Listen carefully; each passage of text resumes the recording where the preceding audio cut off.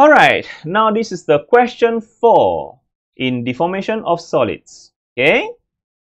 A 15 kilogram ball fastened to the end of a steel wire of unstretched length 0.5 meter is wheeled in a vertical circle hmm, with an angular velocity 2 revolution per second. 2 revolution per second um, at the bottom of the circle. Wow, yes, a circle. The cross-section area of the wire is 0.02 centimeter square. Calculate the elongation of the wire when the ball is at the lowest point, lowest point of the circle. Yeah. Now, Young modulus given for steel is uh, this is a steel wire. So the Young modulus for the steel given 2 exponent 11 Pascal. Okay, information given. Okay, first identify information given. You have the mass of ball. It's a steel wire uh, with this Young modulus. Yeah, steel Young modulus is this one. Remember, the Young modulus depend only on the type of material. Or material is the steel. So this is the one. Okay. Unstretched length. Unstretched means uh, the original length. Okay. So 0.5 meter is the original length, L naught. We're in the vertical circle. So this is a circular motion. Okay. First I write down this is a um, circular motion. This is a circular motion. Uh, with uh, angular velocity 2 revolution per second. So this is definitely the omega, but revolution per second is not the unit for omega. We must change to radian per second. Yeah, this is a uh, revolution per second. Revolution per second actually is a uh, revolution per second, RPS. Uh, RPS. Okay. Revolution per second is RPS. But we must change to radian per second later on at the bottom of the circle. Okay, bottom means at the lowest point. Okay. Uh, oh, that means the the ball has this omega 2 revolution, revolution per second when it is at the lowest point of the circle. Okay, at the lowest point, at the lowest point of the circle, it has this angular velocity. Yeah, I mean the ball. The cross-section area of the wire is this. Uh, this is the area, cross-section area of the wire. Yeah, cross-section area. That means um, the cable, the, the wire, you know, the steel wire. Uh, this is the cross-section area, yeah? the area. The wire, yeah? cross-section area. The wire, 0.02 centimeter square. So it's, it's not SI unit, must change to SI unit, meter square calculate the elongation of the wire. That means I want to find E, elongation, at the lowest point. Okay, let's do one by one. First of all, we have the mass. We have the original length, 0.5. We have the omega, revolution per second. So, revolution per second means revolution per second, RPS. So, to change to radian per second, we just, what we do? We just uh, multiply by 2 pi. Remember that? Uh, to change to radian per second, uh, multiply by 2 pi, you will get um, 4 pi. 4 pi radian per second. Uh, that's the omega. That's the omega at the lowest point you know, of the circle. Okay, multiply 2 pi, get 4 pi radian per second. Now, I have the cross-section area for the wire also. Uh, centimeter square, change to meter square. Uh, centi, centi at the power of 2. Centi is negative 2, isn't it? Centi is negative 2. And uh, at the power of 2 become negative 4. Uh, many, many students make mistake. Yeah, this centi because under the power of 2, uh, the centi is negative 2. But under the square, it become negative 4. Okay, remember that. And uh, change to SI unit, meter square already. Yeah, good. Now I got the cross-section area in SI unit. The Young modulus is uh, this one in Pascal or Newton meter per meter square. Okay, so what should I do now? I I already identified this is a circular motion. It's a vertical circular motion somewhere, yeah? Circular motion. Okay, let's talk about circular motion. When the object is at the bottom of the circle, okay, at the bottom of the circle, uh, this is the free body diagram. Uh, always draw a free body diagram. Okay, at the lowest point, at the lowest point, the center of circle is at the top.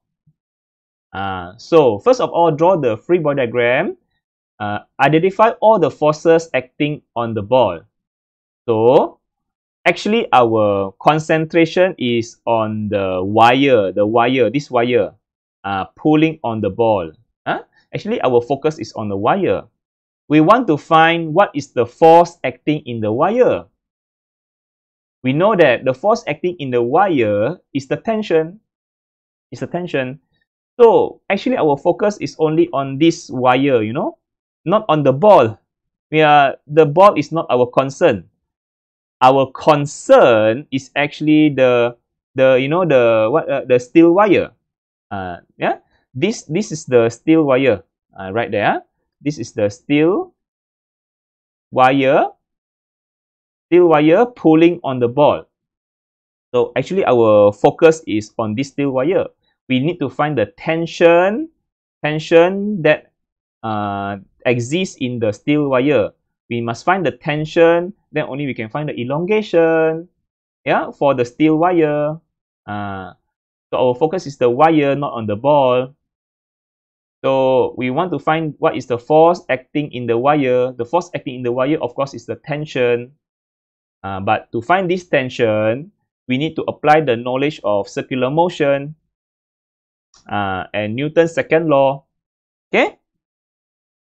So back to chapter chapter circular motion. Okay, chapter circular motion.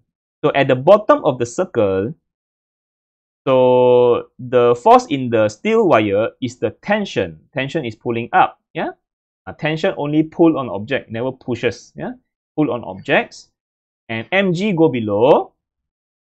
And because the center is above the ball, so our centripetal acceleration uh, remember, for circular motion, circular motion, it has centripetal acceleration towards the center of circle.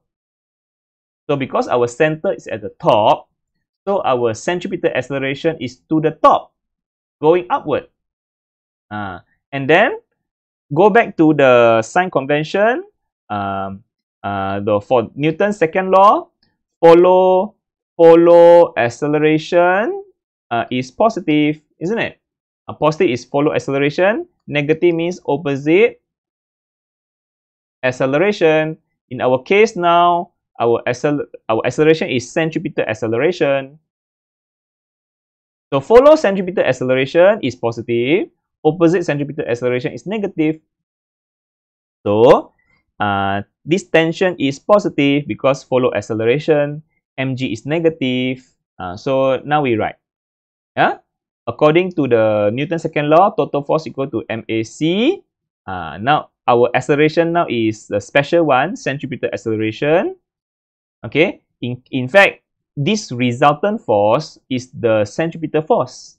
Uh, Fc equal to MAC. Uh, yeah, centripetal force is the resultant force on the ball. Okay, so now um, uh, the tension is positive, mg is negative. So just write there.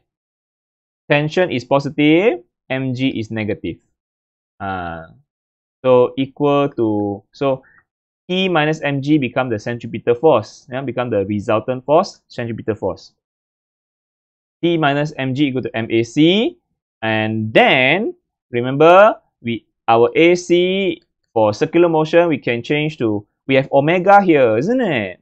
We have omega uh, actually our centripetal acceleration has several formula v squared over r uh, r omega square and also v omega.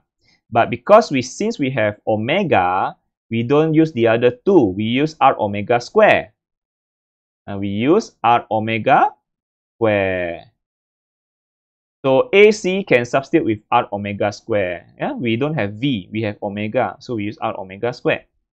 So our AC can substitute with r omega square So become mr omega square. This is chapter 6, uh, circular motion. Uh, so we can find our tension in our steel cable, steel wire. So mg go to the other side, become positive, plus mr omega square. And then uh, factorize the mass, uh, g plus r omega square. And um, g is uh, 9.9.81 uh, plus, you know, uh, plus the r. r is what? Do we have r? Uh, our R is actually the length of the steel wire.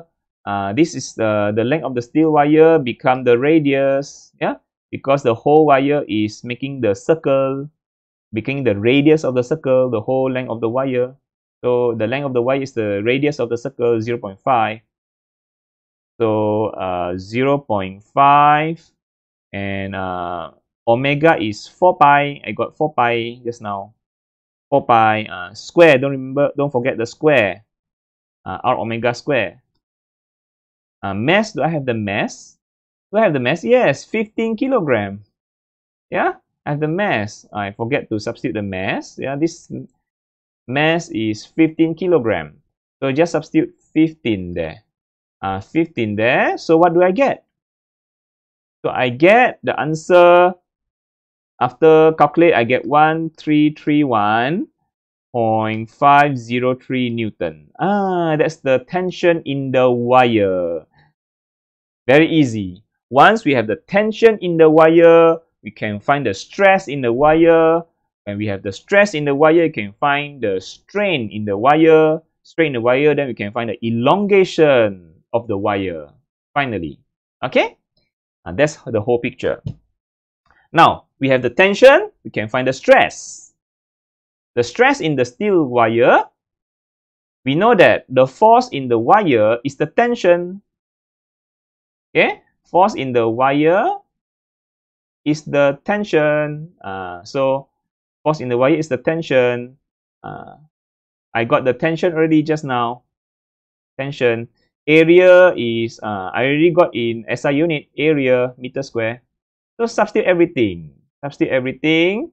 Tension is 1331.503. Cross-section area. Cross-section area is 0 0.02 exponent negative 4. Already in SI unit. So my stress. My stress is 6.6575 exponent 8 Pascal yeah, that's uh, my stress of the steel wire. The stress in this steel wire because of the tension. Okay, so I got the stress already. I, uh, I also have the Young modulus of the steel. I can find the strain. See, step by step. 2 exponent 11. So just substitute 2 exponent 11 uh, Pascal. And then um, Stress is 6.6575 exponent 8 Pascal. Okay, 6.6575 pas exponent 8 Pascal. So I got the strain. My strain is, um, you know, this uh, the Young modulus is Pascal. Stress also Pascal. So when uh, cut off Pascal with Pascal, strain has no unit. Strain has no unit. So, okay, so calculate, I get what? What do I get? What do I get? Come on. My strain is 3.3.32. Sorry, sorry again. 3.3288 exponent exponent negative 3. Ah, this is my strain. Uh, no unit, no unit because Pascal with Pascal, uh, Pascal Pascal. So this one has no unit. Okay, I got my strain. Once my I got my strain, I can find the elongation of the wire. You have the strain means it has elongation. Okay, put my strain there, 3.3288 exponent negative 3. And then uh, my what is my original length? Original length is 0 0.5. Uh, 0 0.5. So just put my 0.5 there. Just put my 0.5 there. I can find my elongation. which is which is the answer uh, 1.66 exponent negative 3 meter or uh, we know that exponent negative 3 exponent negative 3 is milli isn't it milli 1.66 exponent negative 3 is milli uh, 1.66 millimeter is the elongation is that correct 1.66 millimeter that's correct okay that's the elongation uh, okay so very simple isn't it so what, what you have to do is you always identify uh, what situation is this. This is a circular motion. Circular, circular motion, you do the, the, the what? The Newton's second law. Uh, find out the tension in the wire. Uh, once you have the tension, you can find the stress. You can find the stress, you can find the strain. I can find the strain, you can find the elongation. Okay? Uh, I think the hard part is over here. Yeah, you must understand the situation. Huh? Uh, so the uh, always uh, the force in the wire is always the tension. Okay, force in the wire is always the tension, and this tension, um, we have uh, these things. Uh, it has centripetal acceleration. So use do the use the go back to chapter six. Uh, find out how to find the tension in the wire applying the centripetal acceleration, centripetal force. Okay. The chapter six, uh, chapter six, uh, circular motion knowledge. Uh, and remember, the omega must always change to radian per second. Don't maintain as other unit like revolution per second, revolution per minute.